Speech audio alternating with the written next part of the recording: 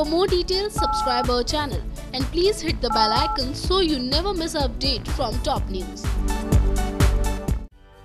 जल्दी से आगे बढ़ते हुए अब आपको बता दें दोस्तों ये कि ये रूही को देखने के लिए जो लड़का आने वाला है दरअसल ये लड़का कौन होगा जिसके बाद आपके पैरों तले ज़मीन खिसक जाएगी जो हम बताने जा रहे हैं उससे जैसा कि आपने हेडलाइन में पढ़े लिया जी हाँ की एक बार फिर से एंट्री होने वाली है निखिल की, रूही की ज़िंदगी में।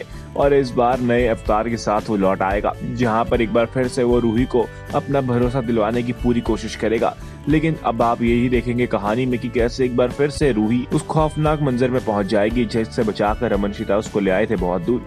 जहाँ पर अब रमन शिता को यही टेंशन खाई जा रही है कि कहीं एक बार फिर से रूही के साथ वो सब कुछ ना हो जाए जो अतीत में हो चुका है उसके साथ। और इसीलिए रूही काफ़ी ज़्यादा परेशान है, नहीं करना चाहती है शादी। ऐसे में आगे चलकर कहानी में कितने बड़े ट्विस्ट अब आएँगे। और क्या निखिल एक बार फिर से आकर रूही की ज़िंदगी को तबाह करेगा? ये सारी बातें हमें देखने को मिलने वाली है सोमवार के एपिसोड से। टॉप न्यूज़ की report. For more detail subscribe our channel and please hit the bell icon so you never miss update from top news